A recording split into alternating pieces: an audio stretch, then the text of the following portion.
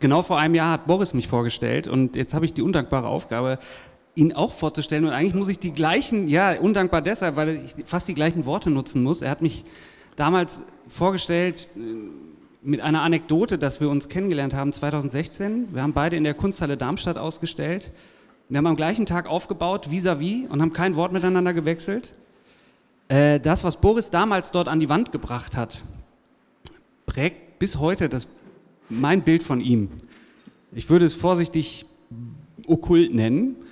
Und jetzt hat er das, äh, ist das so ein Running Gag zwischen uns geworden, dass wir uns eigentlich nicht kennen, obwohl wir ja ständig miteinander kommunizieren. Die meisten werden es eventuell wissen, dass wir öfter mal unsere Gesichter in ein Telefon halten und uns über Fotografie unterhalten. Das ist eine berufliche Beziehung. Ja, beruflich, absolut. Und ich muss da jetzt noch eine Anekdote ergänzen. Wir sind gestern Abend essen gegangen, mit dem, in dem Glauben, wir würden uns unterhalten. Wir haben, glaube ich, zwei Sätze miteinander gewechselt. Wir haben wieder nicht miteinander gesprochen.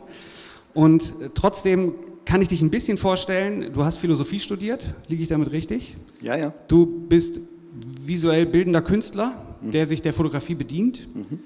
Und du hast ein neues Feld entdeckt, das ist die KI. Und gleichzeitig ist Boris für alles verantwortlich, was hier bei der DFA mit äh, sozialen Medien oder mit dem Digitalen zu tun hat. Viel mehr möchte ich jetzt vorher gar nicht sagen, weil wir, ich glaube, wir werden genug Gesprächsstoff haben. Ich würde jetzt sagen, ich, ich wünsche mir einen kleinen Applaus für keine Ahnung, den Großvisier des Okkulten und den dort Voldemort der DFA, Boris Eldachsen. Herzlichen Dank.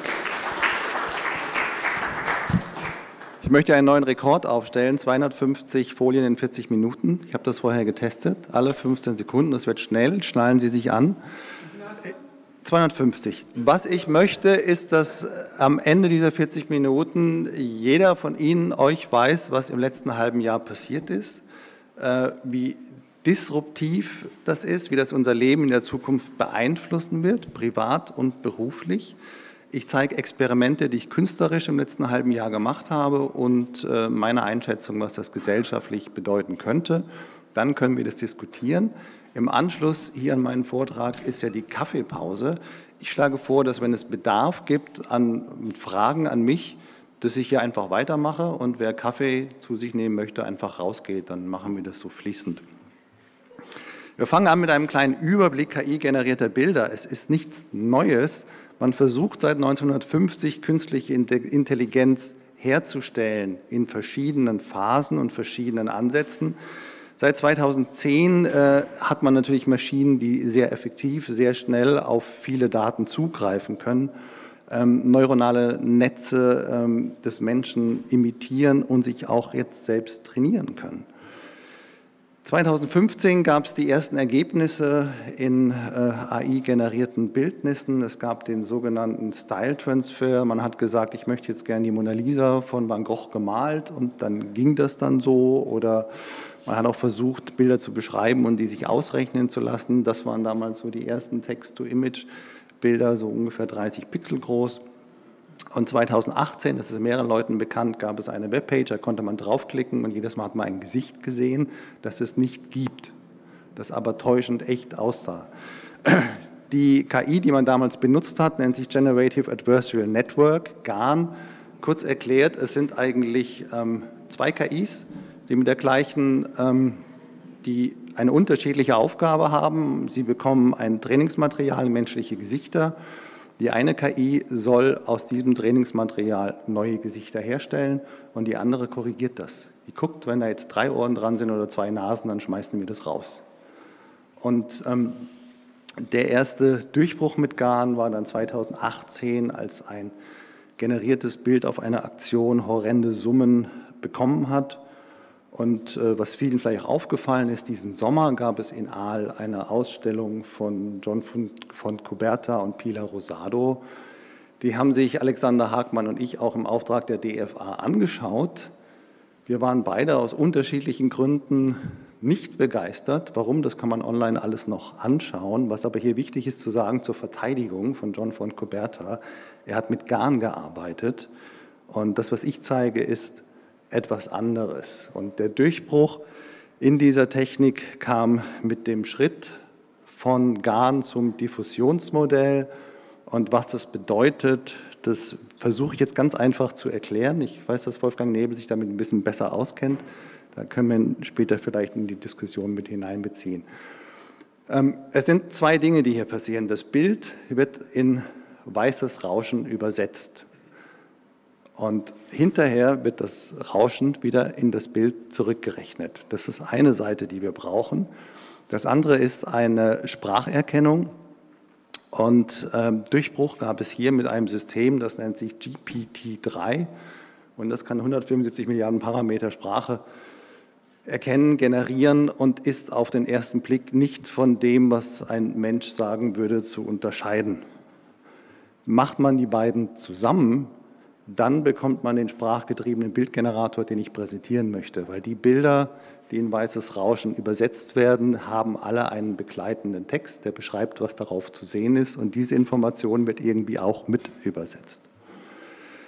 Das sind dann so äh, Bilder wie hier, das kann alles sein, das ist ein Ausschnitt aus dem Trainingsmaterial von Stable Diffusion. Äh, die Bilder brauchen auch keine große Pixelgröße und es gibt einen beschreibenden Text und damit arbeitet die KI. Das kann alles sein von Trash zu Treasure. Der Vorreiter in dem System war DAL-I 2. DAL-I, Wortspielerei von einem Disney-Pixar-Film Wall-E und Salvador Dali. Ähm, produziert von OpenAI, das ist eines der führenden Startups in AI, äh, finanziert von Elon Musk und Microsoft.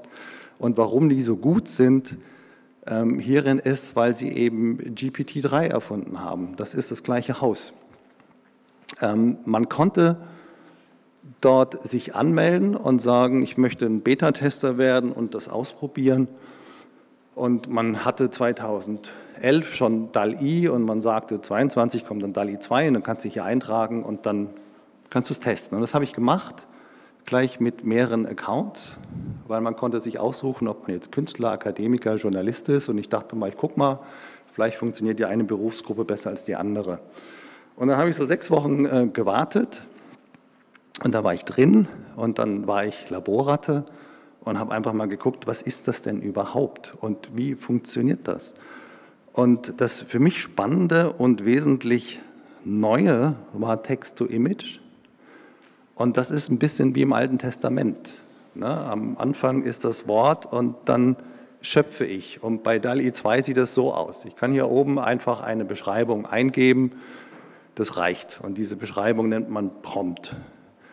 Kann ich zum Beispiel eingeben, ich hätte gerne ein Foto von Zwillingen, das ist so ein Minimalprompt, und dann kriege ich Zwillinge. Und bei DALI 2 kriege ich die gleich in vierfacher Ausfertigung. Mich persönlich interessieren Zwillinge nicht, die einzigen Zwillinge, die ich mag, sind die, die Roger Bellenmauer in den 90ern fotografiert hat. Diese hier. Also dachte ich mir, ich gebe jetzt mal ein, Zwillinge von Roger Bellen fotografiert. Und dann kam das raus. Und dann hat man gemerkt, okay, ähm, irgendwie weiß die Maschine schon, dass Roger so auf andere Sachen steht. Und ich habe das mehrmals gemacht mit anderen Ergebnissen. Und das Interessante ist, es ist ja nie das Original, sondern man hat andere Geschlechter, äh, Physiognomien, unterschiedliches Alter, aber die sind alle immer irgendwie so freaky wie das Original. Und äh, dann bin ich nochmal zurück, ähm, wir haben ja noch das Original im Kopf und dachte mir, ich beschreibe jetzt mal, was ich drauf sehe, ne? wie alt die sind und dass sie von einer weißen Wand stehen und dass ihnen der Sapper aus dem Mund läuft und die großen Ohren und dass das schwarz-weiß ist und dass Flecken auf dem T-Shirt sind und dass es in Großformat fotografiert ist mit Blitz in Südafrika in den 90ern. Und dann komme ich schon ein bisschen näher ran. Ne? Also schlecht war das jetzt nicht. Und äh, hier habe ich jetzt äh, von dem Text eine Option weiterzuarbeiten und das ist das sogenannte Image-to-Image. -Image. Das heißt, ich pick mir jetzt von diesen vier Bildern eins raus und sage ich, das ist das Beste kannst du mir das Gleiche nochmal ein bisschen anders rechnen? Und dann kriege ich wieder vier Ergebnisse, die von dem ausgehen und mir unterschiedliche Varianten bieten. Jetzt könnte ich natürlich auch sagen, hm, das mache ich jetzt mal mit dem Original und dann lade ich jetzt mal äh, Rogers Bild hoch und gucke, was ich dann kriege. Ja, und da bin ich noch näher dran und äh, habe das auch mehrmals gemacht mit diesen Ergebnissen. Ich habe äh, vor zwei Wochen Roger Bell in Berlin getroffen, habe ihm das alles gezeigt. Er hat sich köstlich amüsiert, fand das alles, alles ganz toll, hat in die Hände geklatscht und hat äh, Fotos vom Bildschirm gemacht und an äh, Marguerite Rousseau, mit der er zusammenarbeitet, geschickt und ähm, fand das sehr köstlich. Das äh, weitere Tool, was man machen kann, nennt sich In-Painting. Das bedeutet, ich habe ein Bild ähm, errechnet und jetzt gefällt mir aber der Gesichtsausdruck nicht. Dann radiere ich das einfach weg und dann gebe ich oben im Text ein, ich möchte gerne lachende Frau und dann lasse ich einfach den Gesichtsausdruck neu berechnen und dann kriege ich wieder vier Varianten, wo ich wieder eins aussuchen kann. Das ist In-Painting. Die Frage ist, was macht man damit? Und äh, ich war, bin wirklich so davon auch beeindruckt, das hat einen Sog, das hat einen Suchtcharakter und man macht einfach. Das kostet alles. Ne? Man kriegt so ein paar Credits umsonst und dann muss man zahlen. Und ich habe diesen Sommer mit meinen Experimenten bestimmt 1000 Euro ausgegeben, ja? um wirklich tief einzusteigen. Und ich habe es täglich gemacht und ich mache es immer noch mehrmals wöchentlich, aber es kostet mich nichts mehr. Dazu kommen wir noch. So, was damals so Trend war, einzugeben, war Last Selfie on Earth. Dann kriegt man dann solche Ergebnisse, die man natürlich spezialisieren könnte mit der Beschreibung. Äh, ich dachte mal, ich gebe jetzt mal einen Polaroid von zwei FKK-Lern auf Sylt in den 80ern und dann sagen mir zwei, zwei kleine Tierchen, äh, sorry, das ist nicht unsere Content Policy, geht nicht. Ähm, damals, als ich es im August gemacht habe, stand unten noch eine Verwarnung. Wenn du das mehrmals machst, dann schmeißen wir dich raus. Die haben aber nicht gesagt, wie oft du das nicht machen darfst. Und dann dachte ich mir, hm, das, äh, ich versuche jetzt mal damit zu experimentieren und war angefixt herauszufinden, was geht denn überhaupt und was geht nicht, was ist zensiert, wie kann ich mit Sprache die Zensur umschiffen. Und da kommen wir zum ersten Experiment. Das ähm, führte dann aus einer Kombination von Sprachbeschreibungen, Prompts und In-Painting irgendwann zu einem Bildergebnis, ähm, das mir die KI ausgespielt hat, das aber dann so in der Gestaltung war, dass die KI dann ab diesem Punkt sich geweigert hat, das weiterhin zu behandeln. Hätte ich dann gesagt, mach mir von diesem Bild nochmal eine Variation oder wir radieren nochmal was aus und machen nochmal In-Painting, dann kommen wieder die zwei süßen Tiere und sagen, nein, mach das nicht, sonst schmeißen wir dich raus. Das heißt, ich wollte mit der Technik etwas produzieren, was eigentlich gegen die Regeln der Technik selber verstößt. Aber sie hat sie hervorgebracht. Und so kam ich zu Vomit, Deutsch heißt es Kotze. Man hat es dann wirklich wieder ausgespuckt. Diese KI hat das Bild ausgespuckt und mich mit. Und ich fand es sehr interessant, dass es eine Parallelität gibt zur äh, Idee des Schattens bei C.G. Jung, der ja die Persönlichkeitsanteile betrifft, die man selber nicht wahrhaben möchte und oft in andere hineinprojiziert. Also dachte ich mir, versuche ich mal herauszufinden, was ist denn jetzt der jungsche Schatten von DALI 2 und äh, zeige hier ein paar Bilder, und die klicke ich einfach mal durch. Und die, die mir auf äh, Social Media folgen, die haben das dann auch gesehen und äh, haben darauf auch reagiert. Alle haben gesagt, was benutzt du denn da für einen Prompt? Und ich habe gesagt, sag ich nicht. Das ist mein Kunstgeheimnis weil ich ja wirklich versucht habe, diese Sprache zu erlernen und herauszufinden, wie geht das denn? Wie, wie kann ich denn all das, was nicht sein darf, anders beschreiben? Es läuft alles in Englisch und es war dann ein Vorteil, dass ich mehrere Jahre halt auch im Ausland gelebt habe und Englisch gesprochen habe und damit vielleicht etwas fließender unterwegs bin als in der normalen Schule. So, vier Wochen habe ich das gemacht, 750 Bilder generiert, 40 davon sind übergeblieben. Und äh, das Interessante war, dazu kommen wir nachher noch, Hendrik sitzt irgendwo da, Hendrik Faure, auch von der DFA, hat gesagt, er sieht ja aus wie Piktorialismus. Gehen nochmal zurück, ne, so. Habe ich gesagt, richtig. Und dann hat er gesagt, ja, ähm, schick mal rüber, ich mache daraus mal eine Heliographie. So. Liegt da hinten aus, äh, kann sich jeder anschauen. Das für mich Spannende hier konzeptuell ist zu sagen, ich mache jetzt ein Bild mit der aktuellsten Technik und lasse das mit einer der ältesten Techniken, die wir in der Fotografie als Druckverfahren haben, herstellen. Man sieht ja rechts unten diese farbigen äh, Karos, das ist das Logo von DAL-I, das ist ja immer noch drauf in schwarz-weiß. Und diese Heliographie äh, hält hunderte von Jahren, wenn mein Computer, die Festplatten, die Daten alle schon weg sind. Und das fand ich ganz toll. Ähm, Henrik hat noch eine Replik darauf, von der ich nichts weiß. Da wird nachher irgendwas Überraschendes noch passieren, werden wir, werden wir sehen. Das war das erste Experiment, das habe ich so lange gemacht, bis sie mich rausgeworfen haben. Dann haben sie meinen Account deaktiviert und ich hatte noch 12 Euro Credits. Dann dachte ich mir, okay, ähm, blöd, aber just am gleichen Tag waren überall in den Medien dann die Nachrichten, es gibt da noch was anderes, was jetzt am Start ist und das nennt sich ähm, Stable Diffusion und alle haben gesagt, oh, das ist jetzt, das ist jetzt Pandoras Box, weil während DALI 2 so zensiert war, dass man da kein Schabernack machen konnte und alle gesagt haben, Google hat auch so eine KI, aber da darf keiner ran, ne, damit man da kein Schabernack machen kann, hat jetzt ähm, Stability AI gesagt, wir machen Open Source, ihr könnt damit machen, was ihr wollt, ihr könnt euch das runterladen und äh, haut auf die Kacke. Und äh, dann habe ich gesagt, das mache ich jetzt. Ich, äh, ich nehme jetzt Fahrtwind auf und gehe jetzt in die Rotlichtmeile und teste mal, was kann denn Stable Diffusion, was DAL-I nicht kann. Und das war wirklich zwei Tage, nachdem ich rausgeworfen wurde. Und dachte mir, was meins, Open Source, zensurfrei, downloadable. Das war aber alles so sehr komplex, das selber sich runterzuladen, zu installieren. Dann habe ich erstmal angefangen mit der ähm, Webbrowser-basierten Version von Stable Diffusion, die nennt sich Dream Studio. Man sieht ja recht, das ist schon ein bisschen komplexer. Und da konnte ich aber Bilder generieren, äh, wie jetzt hier Wassernixen. Ähm, das hätte DALI 2 nicht mitgemacht. Jetzt gibt es auch hier Zensur, das heißt, wenn das Ergebnis zu äh, non-safe for work ist, wird es dann unscharf ausgespielt, mir aber nicht berechnet. Und äh, verbotene Begriffe gibt es kaum. Da kriegt man ganz selten mal eine, eine, Fehlermeldung, wo man sagt, das Wort darfst du aber nicht benutzen. Und dann dachte ich mir, okay, jetzt haue ich mal auf die Kacke und probiere mal aus, weil es ist jetzt ein neues Experiment. Und ähm, dann habe ich wirklich mit dem Prompt gespielt und ich habe ähm, Prompts so komplex gestaltet, dass die KI nicht mehr wissen, wissen konnte, was ist Subjekt, was ist Objekt, worauf beziehen sich die Verben. Ich habe Begriffe absichtlich falsch geschrieben. Ich habe neue Wörter erfunden, habe das mit pornografischen Sachen kombiniert und äh, habe das über 2000 Mal gemacht. Und man muss wirklich machen, machen, testen. Das Gute ist aber, es dauert nur ein paar Sekunden und dann hat man wieder vier Ergebnisse.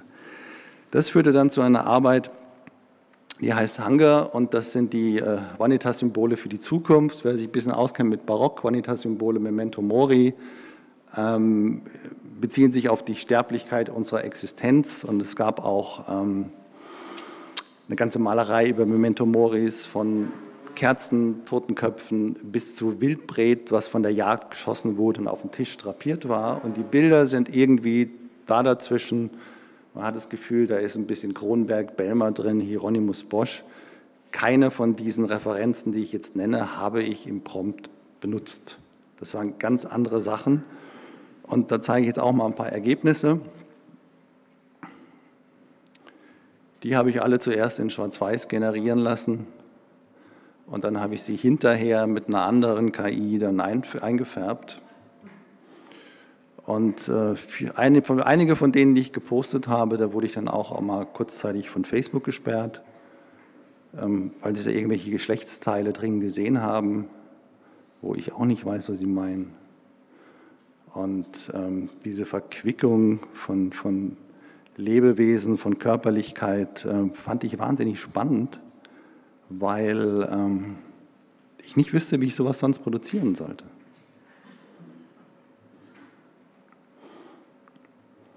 Es gab aber auch hier äh, Follower auf Facebook und die haben gesagt, hör doch bitte auf, so eklige Bilder zu posten.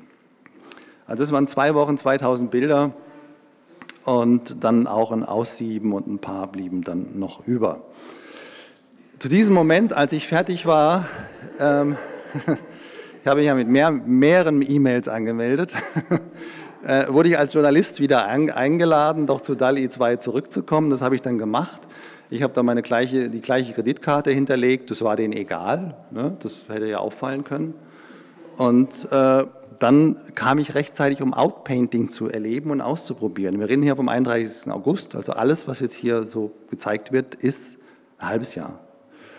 Und es geht schnell, sehr schnell, immer schneller.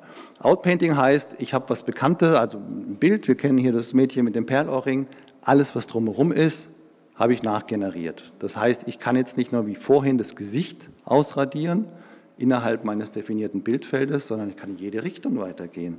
Potenziell unendlich. Und ich zeige jetzt mal hier im Prozess, wie das geht. Man macht einen Prompt, man kriegt das erste Ergebnis, das ist jetzt hier. Dann dachte ich mir, oh, sieht so ein bisschen einsam aus, der braucht noch jemand an der linken Seite. Die Frau schielt, das machen wir jetzt anders. Und das ist schon mal ein bisschen hübscher. Jetzt müssen die noch miteinander interagieren. Jetzt hat die Frau aber keine Hand. Gucken wir, dass wir da noch so ein bisschen was besser machen. Jetzt hat der Mann, dem fehlt auch noch was. Der kriegt auch noch eine Hand, die was hochhält. Was hält er hoch? Ein Auge, weil das eine Auge sieht ja blind aus und dann noch die Hand dazu. Und so entsteht dann dieses Bild hier im Zeitraffer. Das können beliebig viele Loops sein. Und jede Veränderung muss wieder in Worten als Prompt beschrieben werden. Und das ist für mich das Spannende, wo ich sage, ich kann da 30, 40 solche Durchgänge machen.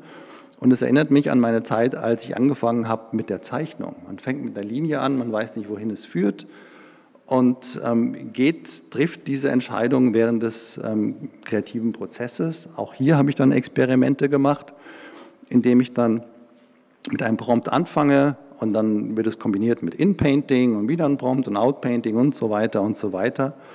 Und da komme ich zu diesem Projekt Pseudomnesia. Das ist eine Erinnerung, die falsch ist, ja, mit der man sich was vorgaukelt, etwas hätte wirklich existiert.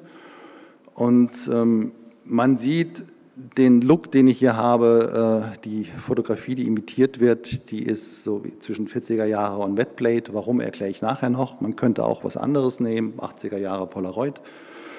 Und da habe ich diese Bilder in mehreren Durchgängen produziert. Und ähm, Outpainting bin ich ein großer Fan von.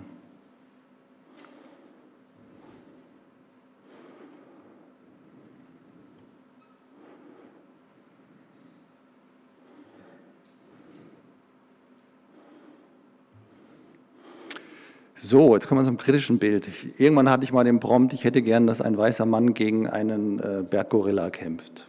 Ja, so klassisch Boxkampf habe ich eingegeben. Da wurde ich verwarnt. Ich glaube, äh, DALI 2 ist ja amerikanisch. Die haben da rassistische Untertöne drin gesehen, die von mir nicht gewollt waren.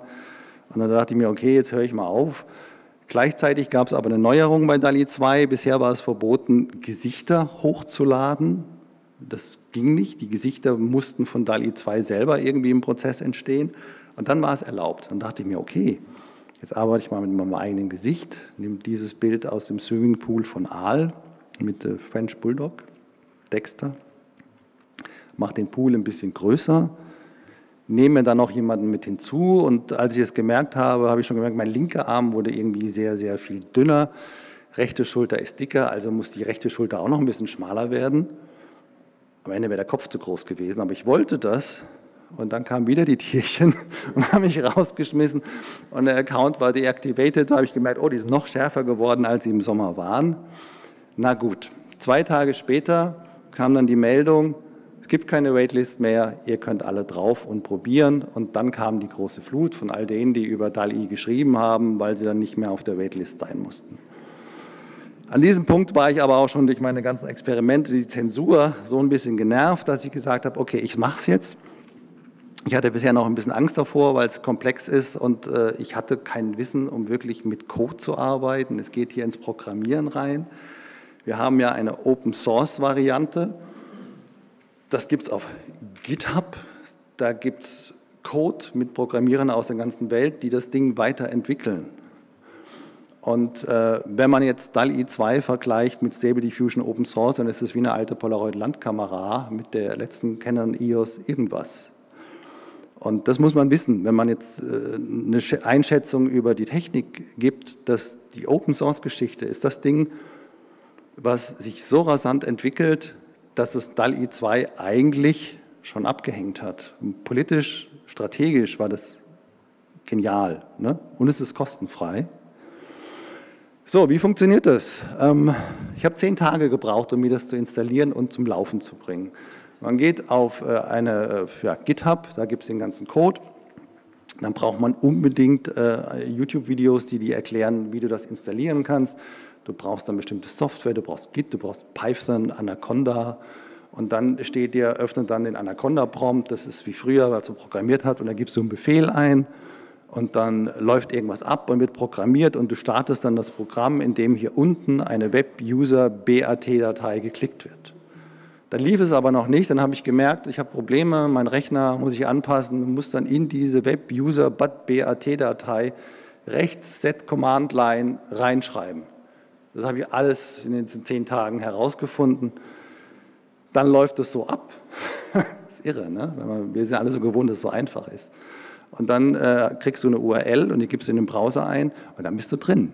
Ja? Und dann merkst du, uh, das ist ähm, groß und so viele Dinge zum Einstellen und alles, was hier oben steht, ist ein extra Menüpunkt mit wahnsinnig vielen Optionen unten drunter und viel. Das war jetzt im November mit drei, vier, fünf, sechs Menüs oben.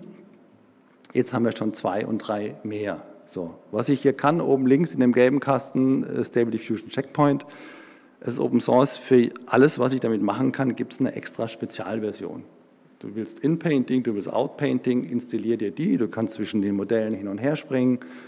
Und du kannst auch jetzt deine eigenen Dateien hochladen und die KI damit trainieren. Du kannst dir Skripts von anderen runterladen und mit denen weiterarbeiten. Das ist so komplex und auf so viele Arten und Weisen kombinierbar. Ich habe noch gar nicht die Zeit gehabt, alles auszuprobieren. Ich zeige jetzt mal so die Hauptdinge, wie man damit arbeitet. Und zwar der negative Prompt. Das ist das Interessante. Ich kann eingeben, Zwillinge von Roger fotografiert, aber ich kann auch eingeben, was in diesem Bild nicht dabei sein soll. Und das habe ich jetzt mal gemacht. Das war dann ein Ergebnis, nochmal Zwillinge von Roger. Und der negative Prompt war dann schwarz-weiß, weil ich wollte das Bild ja in Farbe haben. Dann kam das Ergebnis zwar nicht schwarz-weiß, aber einfarbig.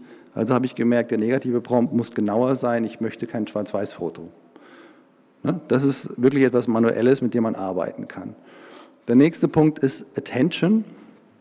Das heißt, ich habe einen Text, die Prompts wie bisher auch, und da kann ich jetzt gewichten, indem ich runde Klammer, eckige Klammern setze, werden bestimmte Bereiche, diese Textbeschreibung wichtiger und unwichtiger. Das ist jetzt mal hier im Beispiel ähm, die Zwillinge von Roger mit einem detaillierten Gesicht, ein bisschen freaky und sie lachen. Und dann habe ich das Lachen mal ein bisschen zurückgenommen, dann ist es nicht mehr ganz so groß.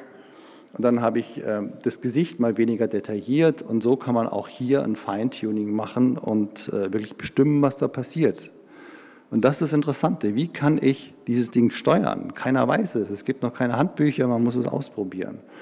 Es gibt eine Prompt-Matrix, das heißt, ähm, ich kann von vornherein ein Versuchsfeld anlegen, indem ich diese Begriffe in unterschiedlichen Kombinationen errechnen lasse, mal lachend, mal nicht lachend. Ne? Man sieht ja immer, was durchgestrichen ist und was nicht. Und dann kriege ich unterschiedliche Ergebnisse, so kann man starten und dann kann man sagen, okay, von diesen achten gefällt mir die Kombination Detailed Face und Freaky am besten, damit mache ich weiter. Es gibt äh, auch einen XY-Plot, während die Matrix ja wirklich den Prompt-Befehl betrifft, die Texteingabe, gibt es beim XY-Plot technische Dinge, wie viele Runden gerechnet wird, wie nah das am Originaltext sein soll oder welches Bild das Ausgangsmaterial ist. Das kann ich auch hier variieren lassen. Und da machen wir mal ein, ein Beispiel in Richtung Seeding. Was heißt das? Äh, Seeding, Saat, das heißt, irgendwas muss ich pflanzen, damit es dann wächst. Ich finde meine Saat auf einer Webpage wie Lexica. Da sind Bilder, die mit Stable Diffusion generiert worden sind. Und wenn ich eins von denen anklicke, dann sehe ich erstmal den Prompt und ich sehe unten auch eine Seed-Nummer und kann ich sagen, okay, ich möchte jetzt mit diesem Bild anfangen als Hintergrundinformation und davon aus mir jetzt Dinge errechnen lassen. Dann gebe ich die Seed-Nummer ein und wenn ich dann die Zwillinge von Roger mit diesem Gesicht als Seed generieren lasse, dann merkt man, dass das irgendwie mit reinspielt. Auch eine Option, die hat ähm, DALI 2 nicht. Und es gibt die Scripts, die man sich runterladen kann, die ich noch gar nicht ausprobiert habe. Upscaling, die Bilder sind ja meistens generiert so zwischen 500 und 1000 Pixel. Das heißt, wenn man damit größer gehen will, dann muss man sich dann zusätzliche Software installieren.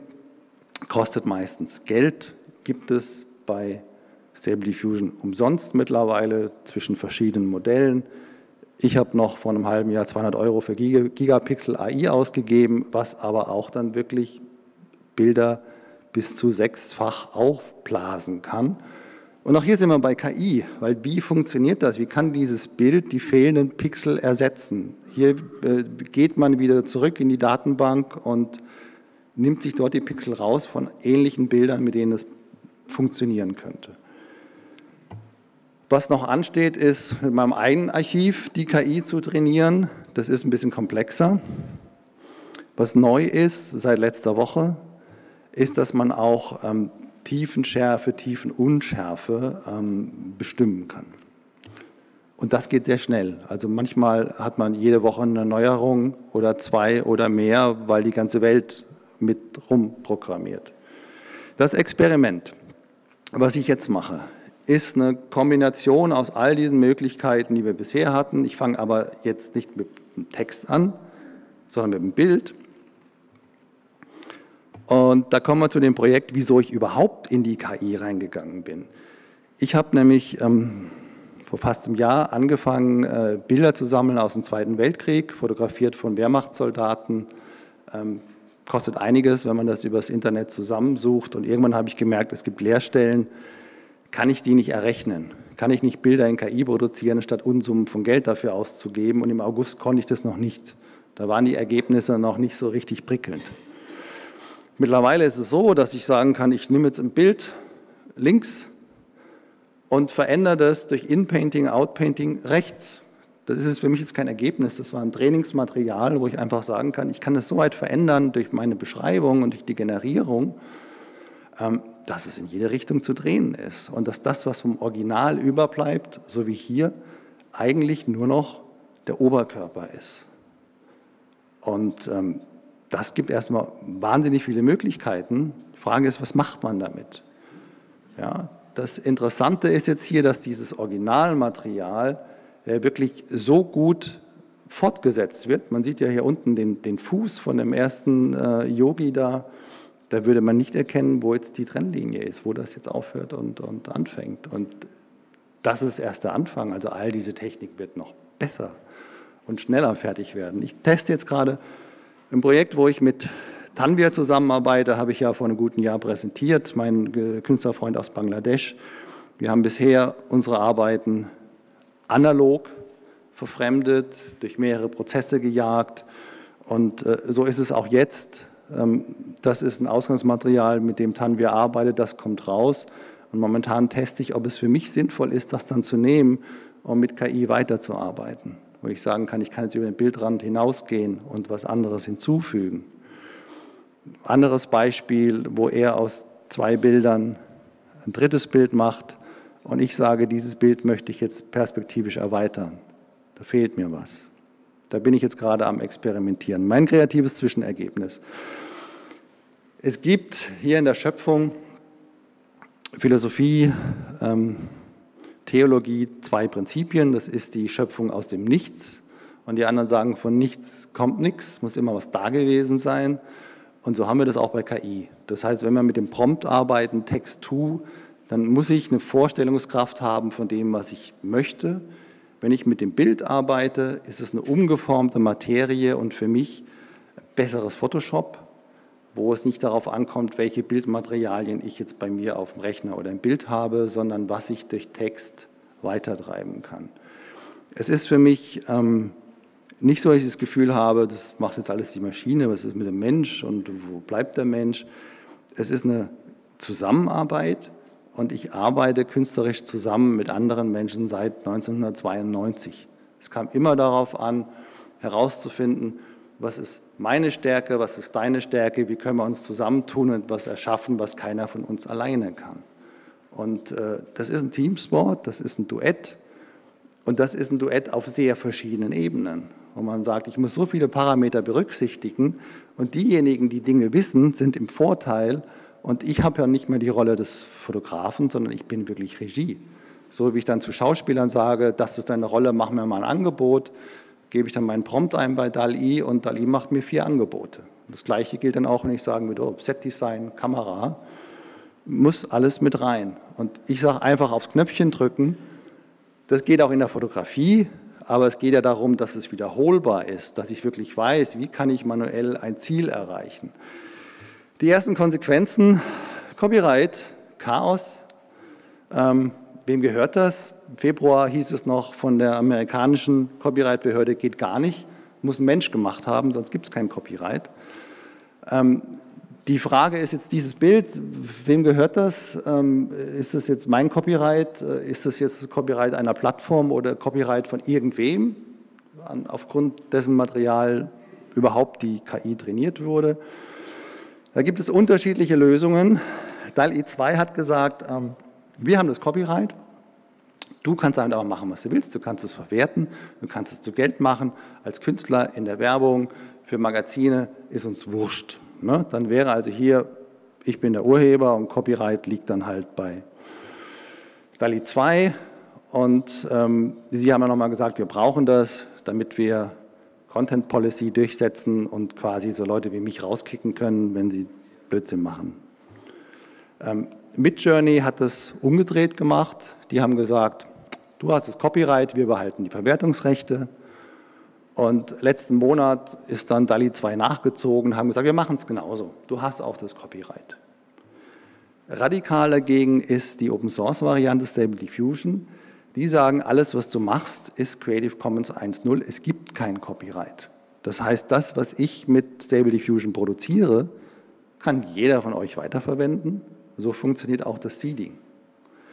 Und ähm, dann wird es natürlich komplizierter. Wenn ich jetzt aber nur im Teilprozess damit arbeite, mit anderen Dingen weiterarbeite, ne, was ist dann mit dem Copyright? Schwierig. Also es ist komplex, ungelöst, wilder Westen. Die Spur führt nach Hamburg. Also Stable Diffusion hat mit Wissenschaftlern aus München, Heidelberg zusammengearbeitet. In Hamburg gibt es diese Organisation Lion, die sammelt seit Jahren Bild-Text-Kombinationen aus dem Internet und bietet diese Päckchen an. Damit wird KI trainiert und das, was verwendet wird, ist Lion 5b. Hier sitzen Hermann Langeweg 26, ich weiß nicht, wo das in Hamburg ist. Jedenfalls äh, Hamburg ist sehr zentral hier. Und man hat auch mal äh, herausgefunden nach der Veröffentlichung, was da überhaupt drin ist in diesem Trainingsmaterial. Hier eine kleine Liste, zur Hälfte sind es fast nur 100 Webpages, Pinterest, WordPress, Blogspot, aber auch sehr viele Stockseiten oder auch so andere alternative Kunstseiten. Und ähm, diese Quellen, die ich vorhin schon gezeigt habe, zwei Künstler aus Berlin haben dann äh, eine Suchmaschine entwickelt, um zu gucken, ist denn mein Bildmaterial da auch drin? Das könnt ihr alle mal machen heute Abend. ist euer Bildmaterial in Lion 5b? Ich habe das mal für Roger Bellen gemacht und ja, er ist drin. Ne? Das sind nicht alle originale Roger Bellen, wenn man sich auskennt. Und die Frage ist, was bekommt Roger jetzt dafür? Was, was würden andere dafür bekommen? Nix. Aber das war jetzt der Stand äh, November. Wir haben jetzt Dezember schon. Ähm, seit letzter Woche haben sich jetzt Stable Diffusion, Lion und Have I Been Trained zusammengetan, um eine Plattform zu entwickeln, wo man sich als Künstler entscheiden kann. Möchte ich, dass ich dabei bin oder möchte ich das nicht? Wo viele sagen, entweder du hast einen Einfluss, wie Roger Bellen, und wenn du dann sagst, ich will das nicht, ist es eh wurscht, weil du hast so viele beeinflusst, dass es durch die wieder drin ist. Und wenn du keine Rolle spielst, dann ist es uns auch egal, ob du Opt-out machst. Also die Frage ist, hm, wo geht das hin? Kreative Berufe. Ähm, ich habe den Vortrag ja vor sechs Wochen gehalten, in einer ganz anderen Version auf der Fotopia.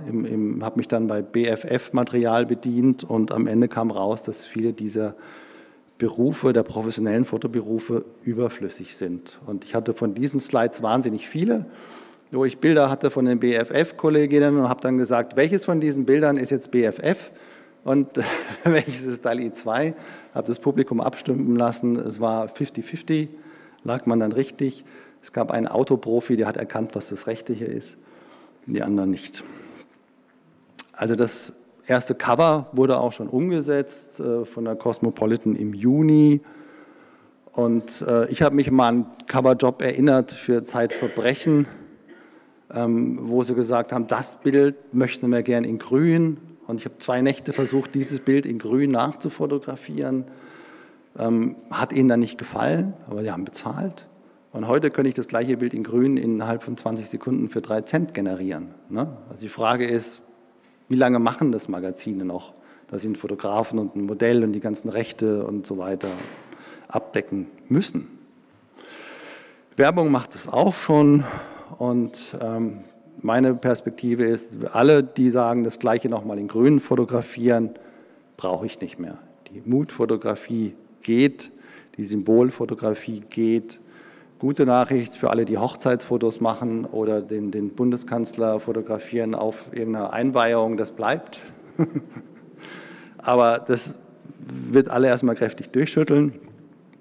Und meine Perspektive ist, nach der Digitalisierung kommt die KI-Sierung und das wird alles betreffen, ob wir es wollen oder nicht. Und es geht darum, das irgendwie intelligent zu nutzen. Sonst ist es wie bei dem Übergang zu digital. Wenn man dann den Zug verpasst, gibt es weniger Optionen. Es gibt aber neuen Bedarf beim Prompt Whispering. Ich muss ja mit dieser Sprache umgehen. Man kann das ganz einfach machen, ne, dass man sagt, ich hätte sie, wie gesagt, eine Pizza im Stile von Van Gogh als Zeichnung. Das wäre dann der Style. Ähm, für diejenigen, die keine Ahnung von Fotografie haben, aber unbedingt ein Foto errechnen wollen, gibt es Plattformen, die dir erklären, was Backlight ist und Chiaroscuro oder wie bestimmte Filme äh, funktionieren und was für ein Ergebnis die geben und was Fisheye ist. Oder wenn du dich in der Kunstgeschichte nicht auskennst, dann kannst du da auch gucken, Karl Bloßfeld, aha, sieht interessant aus, lasse ich jetzt mal meine Pizza im Stile von Klaas, äh, Karl Bloßfeld generieren. Oder ich habe ein Foto, das gefällt mir äh, und dann lasse ich einfach dann die Software errechnen, wie man das beschreiben könnte. Oder ich gehe auf Lexika und kopiere mir dann einfach raus, was da andere schreiben und benutze das. Oder ich gehe auf Unstable Diffusion, ähm, das ist die Plattform auf Discord, auf der sich Leute darüber unterhalten, wie man Pornografie damit generiert. Und dann auch zeigen, wie das geht, männlich, weiblich. Ich habe jetzt hier jetzt mal die, die Männer genommen. Es gibt das Ganze aber, das ist alles umsonst, kostet nichts.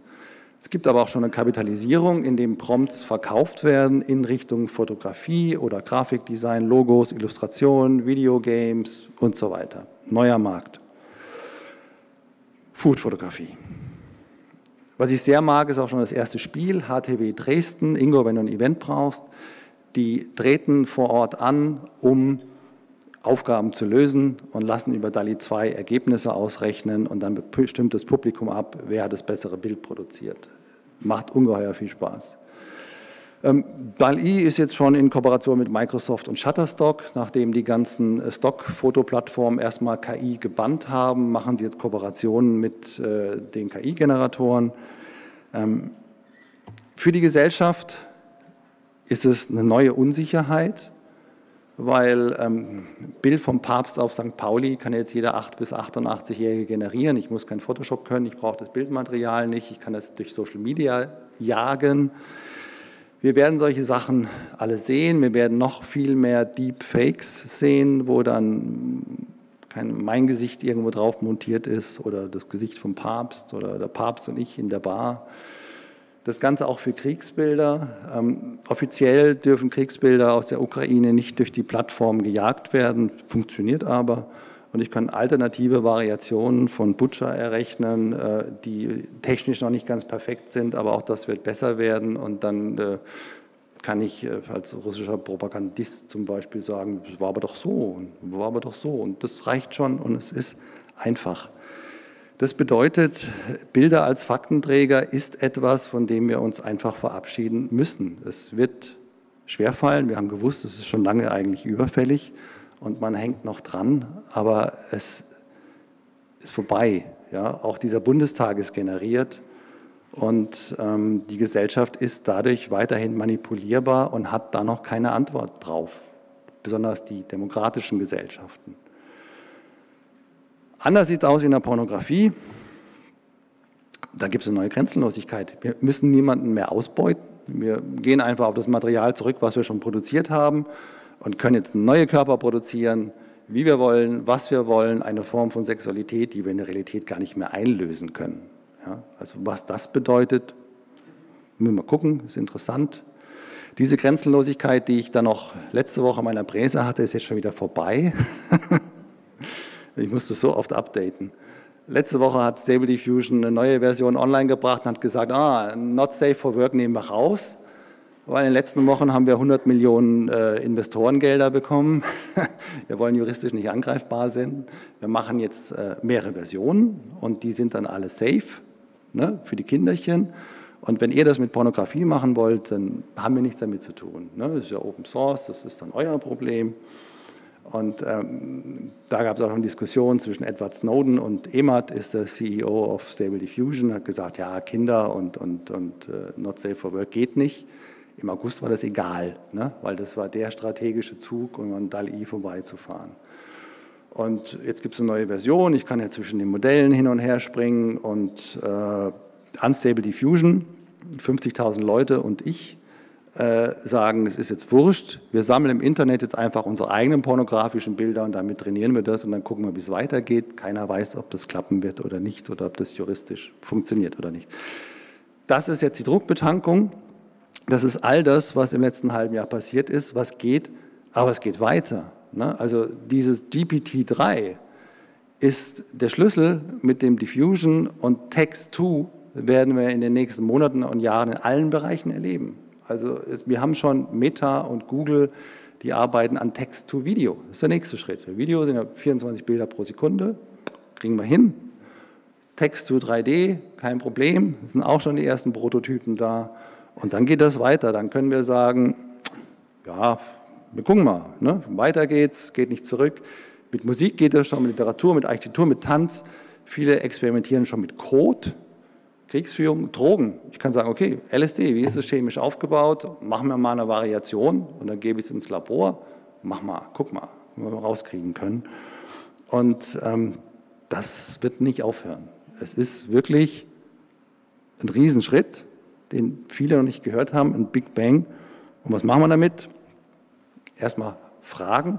Fragen jetzt hier ähm, im Anschluss und dann in der Diskussion draußen. Und ähm, ich wurde eingeladen, einen Workshop zu machen, der ist offen, wird zwar von der DGPH organisiert und da mache ich über drei Online-Events, äh, probieren wir das alles gemeinsam aus, mit generieren, da wer sich für interessiert, kann da hinkommen. Und jetzt würde ich sagen, fangen wir an mit der Fragenrunde oder mit Hendrik.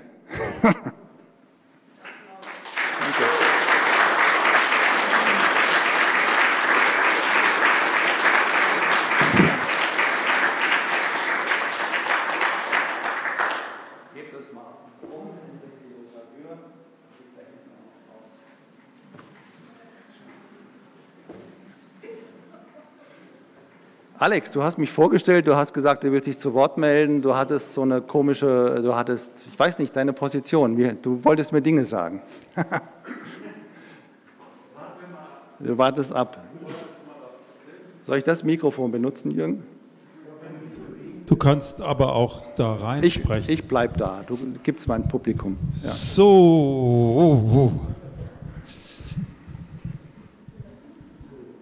Ähm, Jetzt ähm, weiß ich gar nicht, was ich jetzt fragen soll.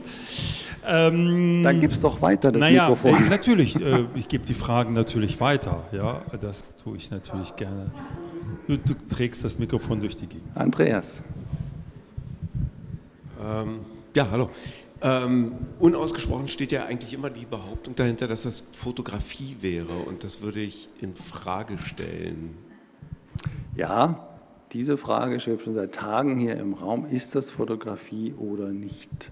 Wie wird Fotografie definiert? Das hat Hendrik ja auch schon gemacht. Ist es Schreiben mit Licht? Ähm, ja, jetzt gibt mir es, persönlich, mal, du darf, ich noch antworten, darf ich noch antworten, Ingo? ich wollte, er wollte schon so machen, aber du musst mir ähm, das Mikrofon zeigen.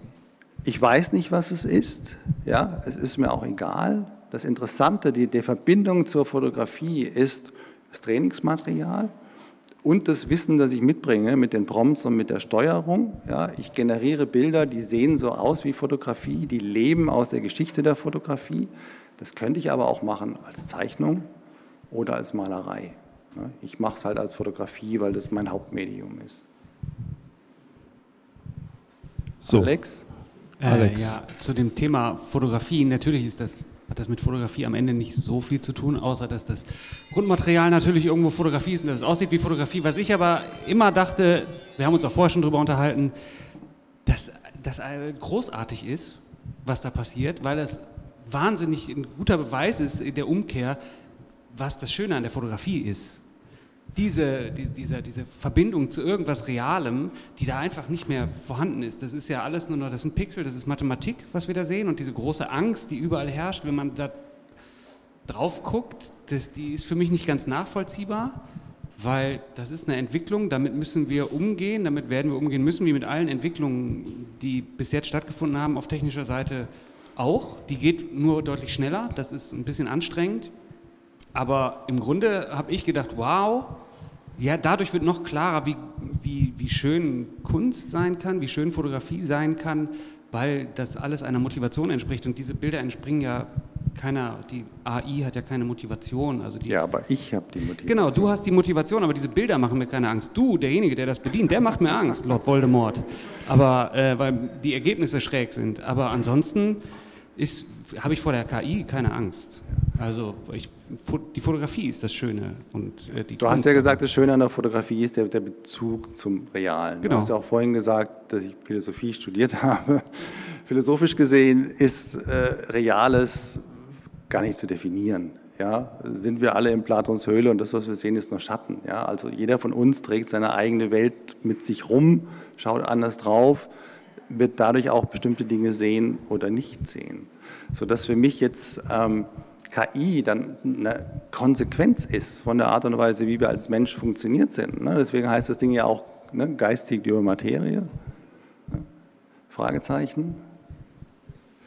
Wir All haben jetzt Hendrik und, und Christoph und Ingo will auch. Ja, gut, dann halte ich mich mal zurück. Ich habe Christoph zuerst, Dankeschön, ich habe Christoph zuerst gesehen und dann nickte Henrik und dann du. Ja, vielen Dank. Ist die Reaktion, die gerade von dir gekommen ist, nicht so äh, die klassische Reaktion, der klassische Ausdruck des Künstlers, der seine Kreativität als Alleinstellungsmerkmal für sich in Anspruch nimmt, der definiert oder glaubt, dass es noch einen Unterschied gibt zwischen menschlicher Kreativität und KI und maschineller Kreativität. Und wenn ich dich richtig verstanden habe, dann gibt es diesen Unterschied eigentlich nicht wirklich mehr. Der Bezug zur Realität ist auch in diesen Programmen gegeben. Und insofern klingt das für mich immer ein Stück beleidigt sein. Wir fühlen uns irgendwo in Frage gestellt. Nicht durch das, was vorgetragen worden ist, denn er sagt uns ja, er nutzt dieses Programm, um seine eigenen Vorstellungen umzusetzen. Aber man kann es natürlich auch anders nutzen. Und vor diesem Hintergrund finde ich das eine fast sentimentale Position, die ich gut verstehen kann, aber die uns, glaube ich, an der Stelle nicht wirklich weiterführt und die nicht den Gegebenheiten entspricht. Ich habe, Kannst du das? Kann ich da noch kurz darauf antworten, bevor wir zu Hendrik gehen, weil ich habe damit auch gerechnet, dass das kommt. Ja. Es gibt eine schöne Theorie über, über technische Panikzyklen in sieben Phasen mit der solche Technik auch immer begrüßt wird. Und das haben wir immer wieder. Und dann können wir mal gucken, wo wir uns gerade befinden. Ne? Die erste Phase ist, belästigen Sie mich nicht mit diesem Quatsch, es wird nie funktionieren. Zweitens dann, okay, es verbreitet sich, aber es ist gefährlich, weil es nicht gut funktioniert. Und äh, das ist nur so bei Garn. Ne? Und drittens, stopp, es funktioniert so gut, wir müssen es ausbremsen, tun Sie was. Viertens, dass es so mächtig ist, dass es unfair gegenüber denen ist, die keinen Zugang haben. Und fünftens, jetzt ist es überall und es gibt keine Möglichkeit, ihm zu entkommen. Unfair. Sechstens, ich, also der damit arbeitet, werde es aufgeben, vielleicht einen Monat lang. Und siebtens hat man sich dann wirklich damit arrangiert ja, und versucht so seine Stellung dazu zu finden. Und das sehe ich jetzt auch. Hendrik. Also, wenn Hendrik Faure wenn man es mal vergleicht mit der Entwicklung der Schachcomputer, dann hatten die auch eine lange Anfangszeit, wo die alles Mögliche gesammelt haben und eigentlich für Strategien zu blöd waren.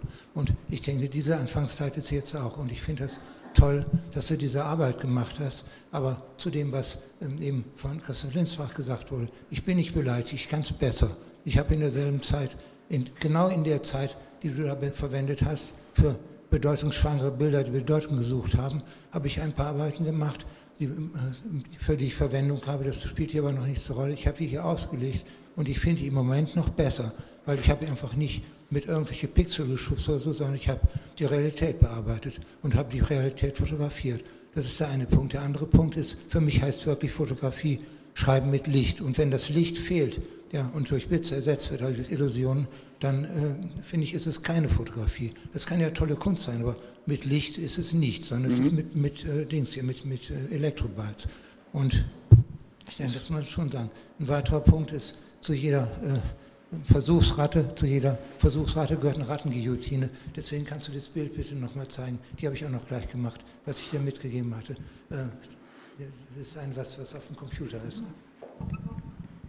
Das war noch in dem Zusammenhang auch. Das wird sich sicher ändern, aber ähm, im Moment finde ich, verlieren diese Bilder einfach noch gegen jede Realität. Ach so, und das, was ich noch sagen wollte, das eine Bild, Ingo, was du dir gerade anguckst, das ist dein Geburtstagsgeschenk, weil die Geburtstage werden hier immer vergessen, obwohl die werden jedes Jahr schlimmer. Ich weiß, wovon ich rede. Ja, das ist das mit dem, äh, das schöne Helle, ja, das mit dem Rübenkopf. Okay, das war's. Danke, Hendrik. Ich, ich gebe das Mikrofon jetzt äh, weiter. Ja, ich möchte noch zu Hendrik was sagen. Ja, wir haben ja vorhin auch definiert, wir arbeiten ja so als Antipoden miteinander und in unterschiedliche Richtungen. Und ich fand diesen Austausch sehr fruchtbar. Und ich bin auch dankbar, dass Hendrik äh, die Heliogravür hergestellt hat, weil ich wirklich denke, äh, konzeptuell als Arbeit gibt das dem erst den richtigen Schliff, ja, diese beiden Enden zusammenzuführen. Ja.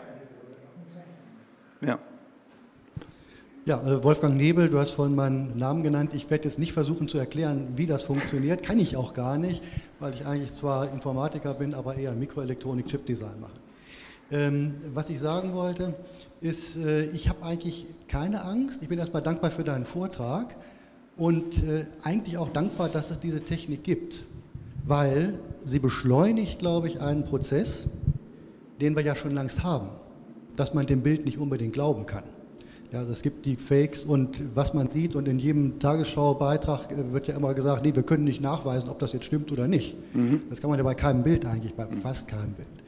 Und dieser Prozess beschleunigt, diese Technik beschleunigt, glaube ich, dass wir einfach vor Augen geführt kriegen, dass wir dem Bild nicht glauben dürfen. Gerade wenn es eben journalistisch ist und auch eine soziale, gesellschaftliche, kriegerische, was auch immer Relevanz hat, beschleunigt ja. das. Und die Open Source Aktivitäten, die du genannt hast, finde ich super, weil das ist noch ein weiterer Beschleunigungseffekt. Weil oh ja. eine riesen Community ja. dabei ist, die dann arbeitet und das weiter vorantreibt. Und dann gibt es irgendwann mal Distributions, wie wir es bei anderen äh, Open Source Softwaren auch kennen, die das benutzbar machen, ohne den langen Einarbeitungsaufwand, den du hattest, sozusagen für jedermann benutzbar machen. Und wenn der Stand erreicht ist, dann weiß eigentlich jeder, dass man keinem Bild mehr glauben darf. Dankeschön. Ich gebe das hier mal an Bärbel weiter. Ja, ich habe ähm, auch, ja, also erstmal vielen Dank. Ja, warte, eine Sekunde. Bärbel Möllmann. genau, äh, erstmal vielen Dank, äh, dem kann ich zustimmen. Ich hatte jetzt auch noch mal ein paar Fragen oder ein paar, auch nochmal diese Frage zur, Dok zur Dokument oder zum, dass es äh, halt ein Beweis ist, aber das war ja auch schon von Anfang an der Fotografie immer so, dass man äh, die Fotografie auch fälschen konnte oder ja. ähm, da eingreifen konnte. Und ähm, dann, wenn man jetzt überlegt, dass die Fotografie auch eine rasante Entwicklung hat von der Entstehung der Fotografie, da hatten die Maler auch alle Angst, dass sie sozusagen diesen Job verlieren, wenn man das vergleichen würde auf einer Zeitschiene ähm, könnte ich, ich vermute mal, also ich weiß nicht, ob das stimmt, das sehen wir ja dann ja erst später, dass es sowas Ähnliches ist. Aber ja. was das dann nachher für uns als Fotografen oder als Künstler heißt, können wir ja nicht abschätzen. Aber was ich vielleicht ganz wichtig finde, dass sozusagen an diesem Punkt ja auch nochmal klar wird, dass wir jetzt eine neue Bildsprache lernen müssen. Und das ist, ähm, komme ich jetzt nochmal zurück auf, mal, auf meinen ähm, Ansatz, den ich auch mit der Kamera Obscura hatte. Wir haben eine gelernte Bildsprache, da sind bestimmte Bilder gewöhnt, die jetzt aber ganz neu entwickelt werden und die wir auch neu lesen müssen. Und ähm, ja, also das ja, ich fand den Vergleich sehr gut mit dem äh, Erlebnis, was ähm, die Maler hatten, als die Fotografie kam, ja, wo ja viele gesagt haben, wie kann ich mit Malerei jetzt noch Geld verdienen? Und da war die Malerei aber von bestimmten Aufgaben befreit. Ich denke, jetzt wird die Fotografie von bestimmten langweiligen Aufgaben befreit und all diese Menschen, die ansonsten Stockfotografie gemacht haben und andere Dinge, können jetzt richtig geiles Zeug machen. Ja, ja genau. Ja. ja. Aber was ich halt total wichtig auch an deinem Vortrag finde, dass, dass wir uns bewusst werden, was da passiert und wie es funktioniert. Und deswegen vielen herzlichen Dank für diesen Einblick, weil das, was du jetzt in den letzten zwei Jahren also da an Input reingezogen hast, das könnte ich jetzt nicht nachvollziehen. Also, ne, also vielen Dank für diese, ja, ja. diese Energie da in dieses äh, wissenschaftliche Forschen. Danke. Wir haben nochmal Klaus Elle und nochmal Andreas. Und ich glaube halt, äh, es war erst. Ja. Entschuldigung, Klaus, äh, sie hatte sich wirklich zuerst gemeldet. Kann ich das Mikrofon noch machen? Achso, Entschuldigung. Äh, erst bitte. Achso, nee. Ich leck doch immer an diesem Mikrofon. Äh, Nadja Ellinger. Äh, erstmal vielen, vielen Dank für den Vortrag, super spannend. Ähm, ich habe eine relativ offene Frage, weil ähm, du hast es schon ein bisschen angerissen mit dem äh, Trainingsmaterial. Ähm, was ich ja sehr, sehr spannend finde, dass wir da eben gerade aktuell auch noch Probleme haben. Also die ähm, Sprachroboter von Google haben ja eine rassistische Sprache entwickelt. Wir haben auch in Google Translate einen latenten Sexismus in manchen Sprachen. Also wir müssen ja sehr, sehr vorsichtig umgehen, mit welchem Trainingsmaterial wir da arbeiten, ähm, wie wir das Ganze füttern. Mhm. Ähm, ich wollte einfach nur relativ ja. offen deine Gedanken dazu hören. Dazu hatte ich auch in dem alten Präsentationsslide habe ich rausgenommen, weil ich denke, das ist äh, temporär und wird sich bald auflösen. Ne? Also wenn man auch Experimente macht und sagt, ich möchte jetzt gern äh, School Teacher haben, ohne das Geschlecht zu spezifizieren, dann habe ich dann auf ähm, Stable Diffusion drei Frauen rausgekriegt und einen Mann, alle weiß. Und bei DAL-E waren die Hautfarben schon gemischt und es war 50-50. Ne? Also man merkt schon, das ist ein Thema, das wird berücksichtigt. Alle sagen, sie wollen es berücksichtigen. Und man merkt es bei DAL-E auch schon, wenn man nicht wirklich eine Person mit der Herkunft irgendwo lokalisiert auf der Erde, dass man da ne, alles kriegt. Ach so, Klaus, jetzt bitte du. Okay. Ja. Äh, es gibt ja diesen wunderbaren Neuroforscher Metzinger, der über das Bewusstsein geforscht hat. Und er ist zu dem Ergebnis gekommen, hat gesagt, einfach das Bewusstsein ist das Erscheinen einer Welt in dir. Das war für ihn die Erklärung von Bewusstsein. Äh, was du erklärt hast, ist ja folgendes. Äh, diese KI nimmt die Erscheinungen einer Meta-Welt, also die wir produziert haben, also wie, man könnte sagen Realität 2.0 äh, die die sozusagen zusammen addiert und daraus eine neue Erscheinung macht. Die Frage, die für mich eine große Rolle dabei spielt, wir wissen ja bis heute nicht genau, was eigentlich Bewusstsein ist, äh, wie wir handeln, wie wir sind. Wir haben die Kultur und wir sind ja trainiert von der ersten Welt, so was wir sehen, Biografie, Familie. Und dieser Trainingsprozess ist wie so eine zweite Welt, die wir schon geschaffen haben als Kultur. Und das schafft ja wie für mich so fundamentale Fragen an uns selbst. So, also äh, wir, die, diese große Frage, was ist Kunst überhaupt? Wir streiten ja so ewig drüber. Und äh, die Frage, wie dieser, man könnte fast sagen, erkenntnistheoretische, philosophische Diskurs geführt wird, das hat natürlich extrem viel mit Eitelkeiten zu tun. Was ist überhaupt noch das Genie? Wenn ich jetzt eingebe, irgendwo ein Konzert zu schreiben wie Beethoven, eine neue Fuge, das geht ja alles schon. Äh, also es, es stellt solche entscheidende Fragen an uns selbst. Und die Frage, ob wir in der Lage sind, diesen Diskurs überhaupt zu führen, wie wir den führen. Und äh, das geht ja an die grundlegenden sagen wir, Faktoren der Macht. Ja. So, wer besitzt was? Und da wird es natürlich um Angst gehen, irgendwo die die Macht haben, es geht um Religion und Kirche, Deutungshoheiten. Über diesen Prozess wäre ich wahnsinnig gespannt. Wir lieben ja auch, wir wollen ja nicht mehr, sagen wir, zurück zum, wenn wir Zahnweh haben, jemanden haben, der am Bohren nimmt, wir freuen uns ja Technik. Äh, aber es geht um grundlegende Machtfragen jetzt. Wenn ich einfach als Kind eingebe, irgendwie Bilder produziere, was wird aus uns sozusagen? Das, das finde ich eigentlich die spannenden Fragen dahinter. Das wird sich zeigen. Keiner weiß es. Das, das ist toll. Ne? Das Mikrofon ist schon äh, bereit. Also, ähm, Raphael Ganzer. Ähm, für mich stellt sich da gar nicht die Frage, ob das Fotografie ist oder nicht. Natürlich ist es Fotografie. Das ist doch die ganz konsequente Weiterentwicklung. Das ist doch eine, eine Grenzverschiebung, äh, an der wir seit Jahren arbeiten. Und das ist vollkommen logisch, dass das Fotografie ist. Ähm, ich finde es super interessant, ähm, wie das nochmal die Frage nach dem Urheberrecht aufwirft, die ähm, ja sehr viele, mit der sehr viele im Internet konfrontiert werden über, über soziale Medien. Ähm, ich glaube, da, da liegt ein spannender Knackpunkt, längerfristig gesehen auch. Ähm, und ich finde es interessant bei diesem Beispiel, das du gezeigt hast mit diesen vier Autos. Also intuitiv habe ich das rechts oben als Fotografie identifiziert. Ähm, relativ schnell. Ja, ja, das war auch eine einfache Kombination. Und also, ich glaube, wenn man damit arbeitet, wird man da ja. ein Gespür für entwickeln. Das ist richtig, aber die Financial äh, Times hat vor ein paar Wochen einen Test gemacht, wie viele Leute können KI-generierte Bilder von anderen unterscheiden. 80 Prozent konnten es nicht. Ja. Andreas, ich glaube, du wolltest direkt da nochmal darauf eingehen, was Fotografie ist. Ja, nein, nicht die Frage, was Fotografie ist, aber äh, die Frage, ähm, was da für ein Werkzeug entsteht. Und ich glaube, das ist, ähm, äh, reiht sich ein so in, in die Entwicklung aller Werkzeuge, die in, in einer gewissen Weise demokratisiert werden durch die massenhafte Verfügbarkeit also ich glaube, ich glaub, es ist grundsätzlich nicht mehr schwer, irgendeinen hochexplosiven Sprengstoff herzustellen und einen Terroranschlag überall auf der Welt zu verfügen. Das ist theoretisch mit, dem, mit der gewissen kriminellen Energie ist es jedem möglich, das zu tun. Und, und ähm, mit äh, ein bisschen krimineller Energie und Weiterentwicklung dieser Technologie, die sich ja rasant entwickelt, ist, glaube ich, auch das Verbreiten von hoch explosiven Fälschungen äh, nur noch eine Frage der Zeit. Und ich glaube, die Gefahr geht gar nicht davon aus, dass neue Bildsprachen entstehen, sondern die größte Gefahr geht von den bekannten Bildsprachen aus. Das heißt, Bilder, die glaubwürdig sind, die Anschlussfähigkeit, äh, anschlussfähig sind und die den bekannten Bildern am ähnlichsten sehen, äh, um, um uns zu beeinflussen.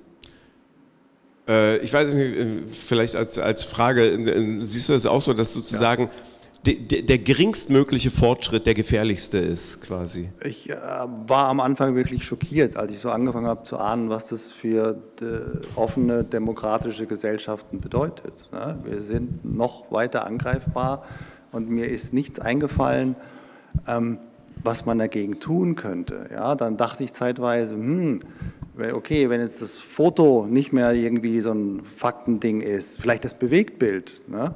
und dann ist aber Text to Video das nächste Ding, ne? das ist, ist keine Rettung. Ne? Ich habe keine Ahnung, ich sehe darin ein, ein großes Problem und keine Lösung. Ich sehe für mich als Künstler darin mehr Vorteile als Nachteile.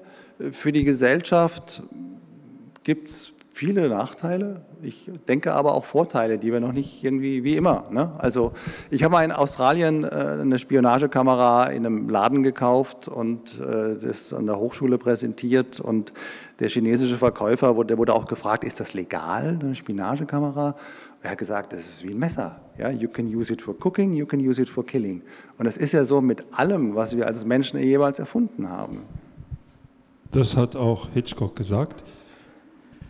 Ähm, ich habe ein bisschen eine Verständnisfrage, auch weil ich nicht ganz sicher bin, ob ich das richtig verstanden habe. Aber wenn ich es richtig verstanden habe, dann ist zur Generierung der Bilder die Sprache notwendig. Also ein Prompt ist eine Beschreibung, die ich eingebe. Ja, es gibt zwei Möglichkeiten. Ich, ich lade entweder ein Bild hoch und mhm. fange damit an oder ich, ich schreibe auch, einen Text rein. Ja, aber den, der Text ist wesentlich, um etwas zu generieren.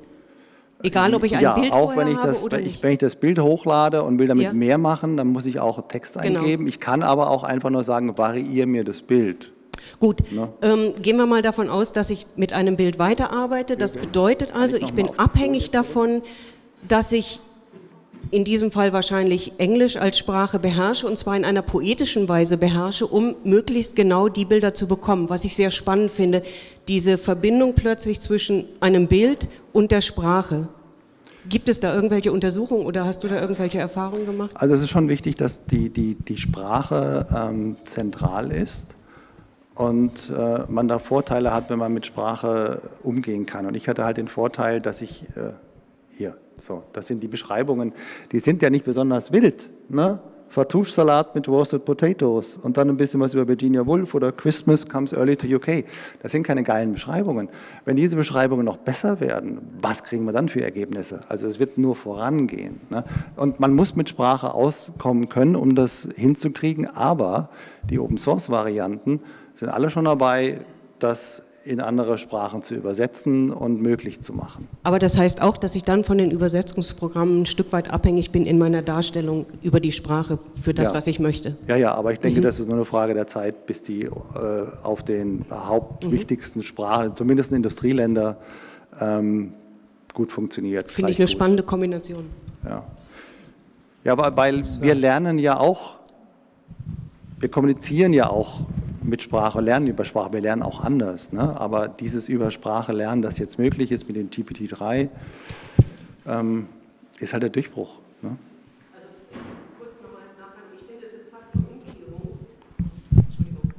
Es ist ja fast eine Umkehrung, wenn man bedenkt, dass Kinder über Bilder sprechen lernen. Man hat die Bilderbücher und sagt Ball und die lernen dann. Und hier ist es ja fast eine Umkehrung. Man gibt Worte oder Sätze ein und bekommt dann ein Bild generiert. Na, aber die KI hat genauso gelernt. Sie hatte hier auch quasi äh, ne, zwei Erwachsene im Schnee, äh, Christmas in UK.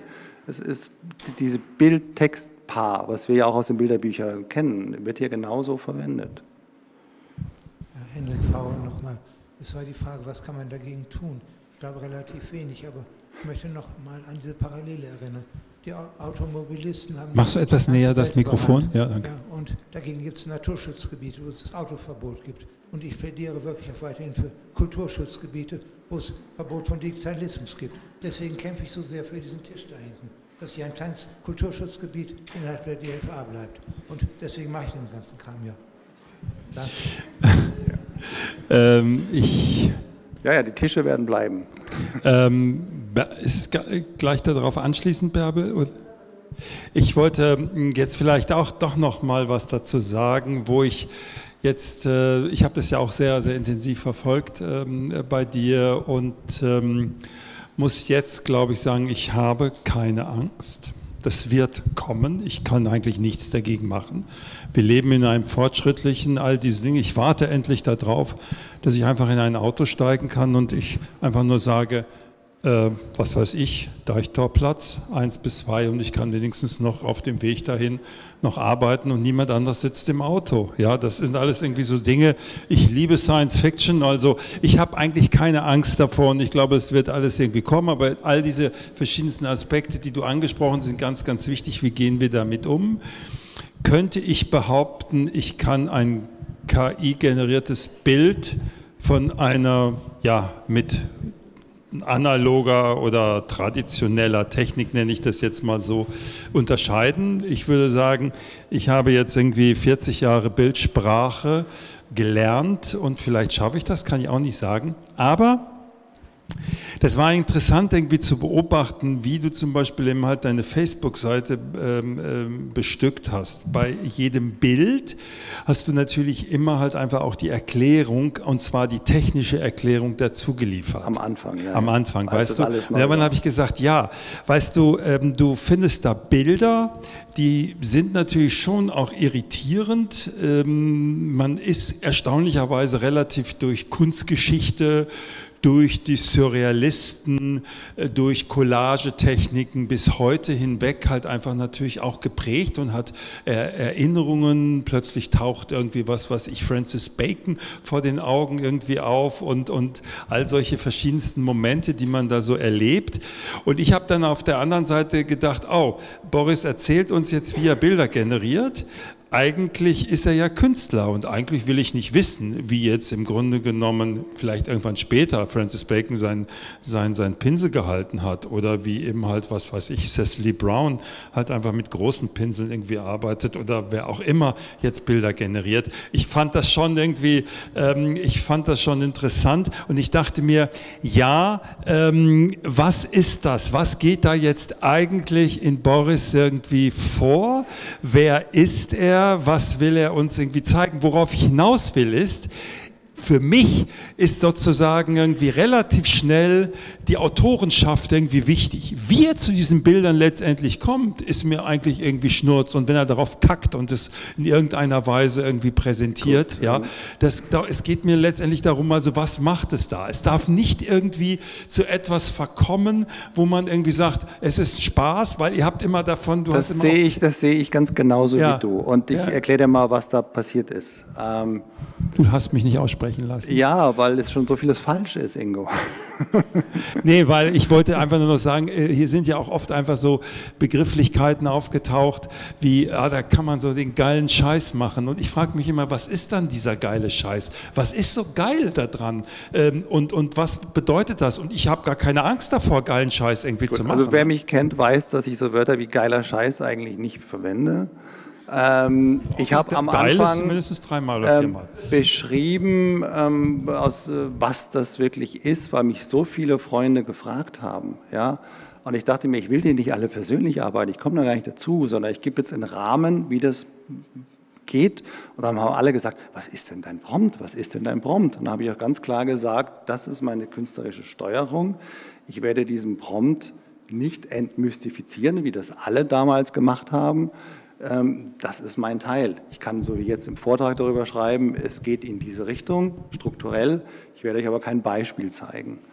Ähm, das ist meine Leistung, die ich jetzt über fünf Monate Spielen mit Sprache einfach mal rausgefunden habe. Das ist auch mein Plus. Und das ist dieser Unterschied. Ich habe das nicht alles irgendwie so offengelegt, sondern ich habe nur gesagt, das ist jetzt hier innerhalb von KI entstanden. Wenn ich andere gesehen habe, die haben sich Spaß gemacht, haben es einfach rausgehauen und haben von ihrem Freund einen Applaus geholt. Guck mal, wie toll du fotografieren kannst.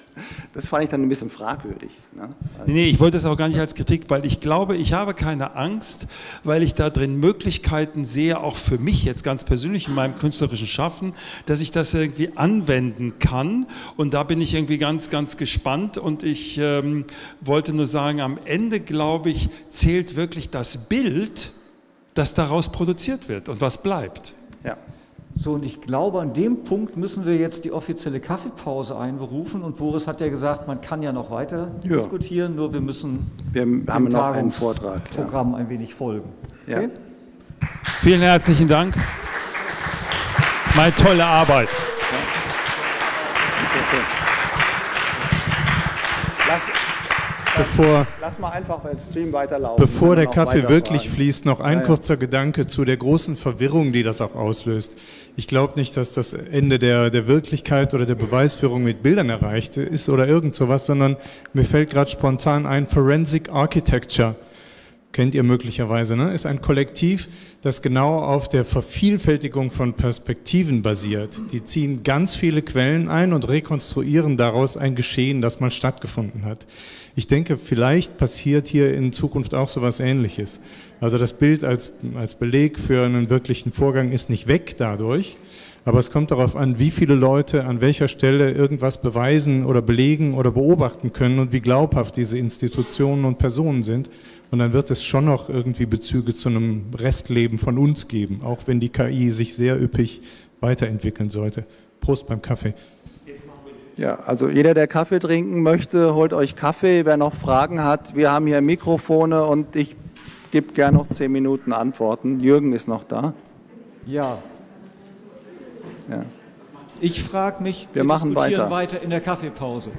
Ähm, ich frage mich, warum wir darauf bestehen müssen, das Fotografie zu nennen. Das ist doch nicht schlimm, wenn man sagt, es ist Computergrafik.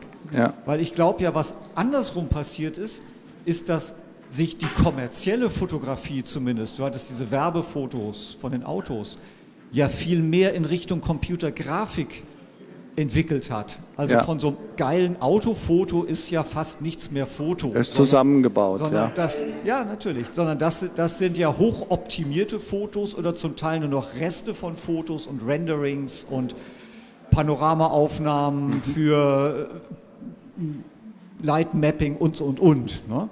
Und dass da jetzt eigentlich der Übergang fließend ist, wo sich also die Fotografie zur Computergrafik entwickelt hat und auf der anderen Seite dieses AI-Zeugs jetzt Grafiken generiert, die aussehen wie Fotos, ist ja, Ja. fast zwangsläufig. Ja. Deswegen glaube ich, müssen wir gar nicht darauf bestehen, dass das Fotografie ist. Mir ist das auch egal. Also die Definition, was das ist, ist was für Medientheoretiker. Ne? Also mir geht es um das Bild und als Künstler kann ich frei wählen, wie ich dieses Bild erzeuge. Alles, was mir dabei hilft.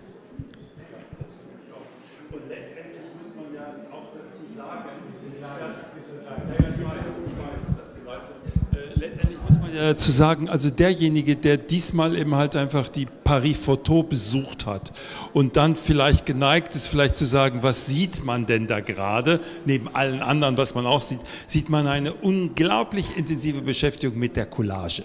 Das ist mir so aufgefallen. Und im Prinzip, was du jetzt auch durch diese Dinge irgendwie eröffnest, ist letztendlich, dass es eine neue Möglichkeit gibt, halt einfach zu kollagieren, was in der Fotogeschichte, Kunstgeschichte ein ganz klarer und irgendwie auch äh, künstlerische Strategie ist. Ähm, ich denke, es ist mehr als das, weil eine Collage ist, Element A und Element B mit Element C zusammenzukleben. Und hier hast du Spuren von A, B und C. Die werden ein neues Wesen. Da wird was geboren, ne, was mehrere Väter und Mütter hat und da werden nicht nur die Dinge zusammengeklebt. Das ist nochmal ein anderes Level. Ich halt, für mich ist es mehr eine Fusion als eine Collage. Es ist eine feinere, es ist eine, eine feine Collage, ja, die, die man gar nicht mehr so als solche dann erkennen kann. Was ich vorhin so ein bisschen über die, die äh, Wahrhaftigkeit von Bildern und, und Beweischarakter gesagt habe, äh, gibt vielleicht auch eine Chance für neue Organisationen, auch uns als Schaffende vielleicht, über das Vertrauen in die Person, in die Organisation, genau dieses Vertrauen wieder in die Wahrhaftigkeit eines Bildes zu erlangen. Ähm, kann, kann das sein, dass die, die Aussage, dass, dass du fünf Monate gebraucht hast, um deine Prompts zu verfeinern und dass du nicht bereit bist, die äh, offen zu legen, zumindest in der verfeinerten Form, vielleicht schon so eine Vorantwort auf die Frage sind, wo das Copyright liegt? Weil eigentlich ist es doch auch nur ein Werkzeug, Ja. was ähm, des kreativen Inputs bedarf, um etwas äh, Schützenswürdiges hervorzubringen. Ja, es ist richtig. Es ist halt der, der Schlüssel zur Bilderzeugung. Und es gibt da ähm, keine Vorgaben. Es muss sich jeder selber erarbeiten. Ich werde ja im, im, im- im Workshop einiges machen. Aber für mich ist, ähm, man fängt immer wieder bei Null an. Also jetzt gab es letzte Woche diese Stable Diffusion 2.0. Funktioniert ganz anders. Alles, was ich mit Prompts bis zu 1.5 gelernt habe, kann ich jetzt vergessen. Ich kann wieder von vorne anfangen. Und irgendwann werde ich mein Wissen von 1.5 wieder auspacken und weiter testen. Darf ich, darf ich auch noch mal kurz was sagen? Also ich verfolge ja ähm, Boris Werk und Boris Freund, Freundschaft schon seit unglaublicher langer Zeit und ich finde hier äh, ist es sehr bedankenswert, äh, bedankenswert, dass wir in deinen Laborcharakter reinschauen können. Das hat sowas davon. Und letztendlich ich, wenn du es später eben rausgibst, dass es total unwissen, also es muss gar nicht beachtet werden. Und dass du es einfach auch mit, dein, mit deinem ganzen Vorwissen, deinen Interessen und deine Philosophie, wie du an Arbeiten rangehst, dass es praktisch ist, auf einmal wie so eine Symphonie zusammengekommen ist. Und das, ähm, das finde ich, ist diese Stärke daran. Und dann vibriert das auch so. Und letztendlich, woher es kommt, du arbeitest einfach damit. Und für Ja. uns ist es alles Neuland. Ja, das wollte ich nur sagen. Und das ist auch diese Neugierde auch daran. Ne? Danke. Das Wolfgang. Ja, nee, ich finde auch nochmal diese Betonung, dass es wirklich ja auch eine künstlerische Mont Mont Montagetechnik ist letztlich. Es gibt ja einfach verschiedene Ebenen, die du arbeitest, ob man das jetzt Collage nennt oder nicht. Also ich finde schon, dass es einfach ein künstlerischer Akt ist, mit verschiedenen Ebenen zu arbeiten. Deswegen finde ich es auch ganz wichtig, dass man die Betrachtung jetzt KIs wird ja in unterschiedlicher Form. Was macht das ges gesellschaftlich? Wie wird das Bild? Was hat das für einen Einfluss irgendwie darauf, dass man das jetzt hier auch komplett separieren muss erstmal. Ja? Einfach sagen, muss. Deswegen, wenn du sagst, das ist für dich eine fantastische Methode, irgendwie da künstlerisch zu arbeiten, dann ist es ja komplett irgendwie nachvollziehbar. Irgendwie Ja. so, ja? Und dass es da in der künstlerischen Methode für mich völlig klar ist, dass die Fotografie auch immer eine Konstruktion von Wirklichkeit Ja. ist. Ja? Also dass ich nie davon ausgehe, dass die Fotografie ein eindeutiges Bild irgendwie der Wirklichkeit zeigt. Und wenn das jetzt dazu führt, dass, dass dieser Glaube daran grundsätzlich aufgelöst wird, dann finde ich das schon irgendwie auch ein gutes Moment, dass man irgendwie als Betrachter grundsätzlich skeptisch ist, irgendwie so, weil hinter allem realistisch natürlich auch eine Absicht, eine Intention steht. Ja. So auch. Und das, und das da und daraus, daraus auch Ideologien entstehen. Also Ideologien sind die oder totalitäre Systeme haben immer mit dem Realismus zu gearbeitet und gesagt, das ist die Realität und es ist nicht irgendwie ein subjektives Konstrukt. Und es ist immer ein subjektives Konstrukt.